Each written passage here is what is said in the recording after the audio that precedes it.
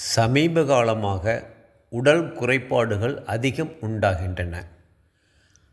அறிவியல் வளர்ந்தால் நோய்கள் குறைய வேண்டும்.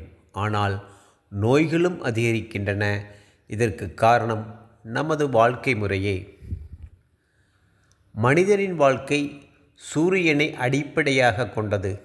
ஆனால் கால மாற்றத்தில் எல்லாம் மாறிக்கொண்டே இருக்கிறது. உணவு உடை இருப்பிடம் ஆகியவற்றில் மாற்றங்கள் உண்டாவதால் மனிதனுக்கு பல்வேறு விதமான நோய்கள் உண்டாகின்றன.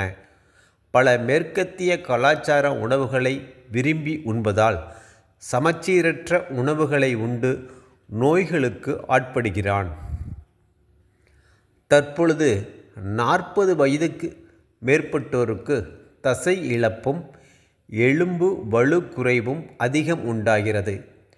இதற்கு முழு காரணம் ஆரோக்கியமற்ற உணவுகள் சிறு வயது முதல் எடுத்துக்கொள்வதால் நாற்பது வயது மேற்பட்டோருக்கு தசை இழப்பும் எலும்பு அடர்த்தி குறைவும் உண்டாகிறது.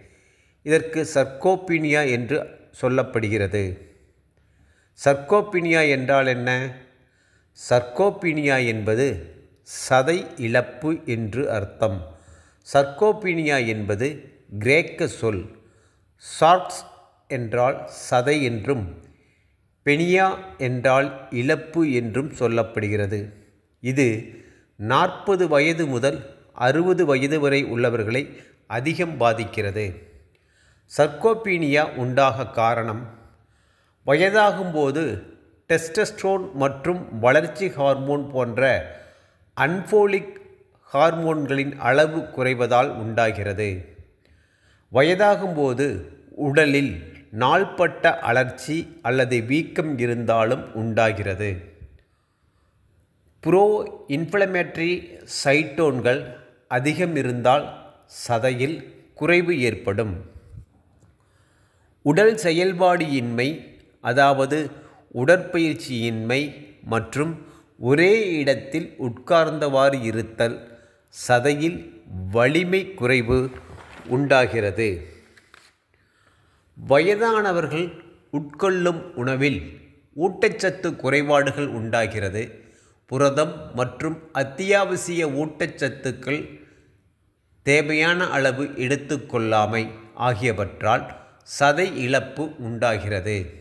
சதை இழப்பின் அறிகுறிகள் சதை வலிமை இழத்தல் சோர்வு மற்றும் பலவீனம் தினசரி செயல்பாட்டில் சிரமம் பலவீனமான உடல் செயல்பாடு தசை சக்தி குறைதல் ஆகியவையாகும்.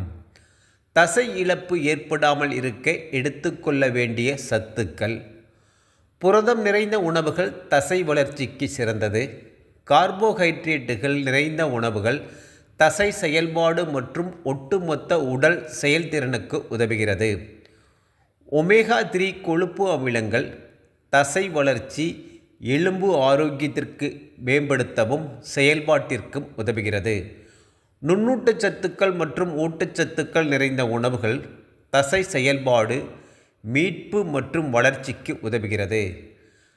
தண்ணீர் தசை மீட்பு மற்றும் ஒட்டுமொத்த உடல் செயல்திறனுக்கு அடிப்படையாக திகழ்கிறது. எனவே சத்துக்கள் அடங்கிய உணவுகளை எடுத்துக்கொள்வது அவசியம்.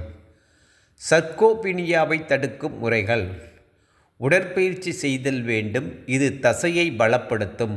சமச்சீரான உணவை உட்கொள்ள வேண்டும். இதில் ஆரோக்கியத்திற்கு தேவையான புரதம் மற்றும் ஊட்டச்சத்துக்கள் நிறைந்திருக்கும். ஒரே இடத்தில் உட்கார்ந்து செயல்படுவதை தவிர்க்க வேண்டும். நாள்பட்ட நோய்கள் மற்றும் உடலில் ஊட்டச்சத்து குறைபாடுகள் இருப்பின் அவற்றை சரி செய்து கொள்ள வேண்டும். இவ்வாறு உடலில் எலும்பு சதை வளர்ச்சிக்கு தேவையான உணவுகளை எடுத்து நலமுடன் வாழ வேண்டும். தொடர்ந்து ஆதரவு அளித்து வரும் தங்களுக்கும் தங்களை சார்ந்தோருக்கும் நல்வாழ்த்துக்கள். சப்ஸ்கிரைப் செய்யுங்கள் தங்களின் நண்பர்களுக்கு ஷேர் செய்யுங்கள். எங்களின் பிற பயனுள்ள வீடியோக்களை பாருங்கள் தங்களின் கருத்துக்களை பதிவிடுங்கள். நன்றி வணக்கம் வாழ்க நலமுடன்.